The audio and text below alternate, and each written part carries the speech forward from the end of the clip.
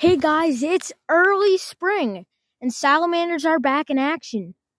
So, I found this little, little log right here. I think it'd have a salamander in it. Let's lift it up. Ugh. Let's see, let's see. Oh, little redback right here. Uh, barely see his tail here. There he is, right here. Here, guys, here's the very small redback I found. I found one of these in my previous video along with a big spotted salamander. Very good early spring catch.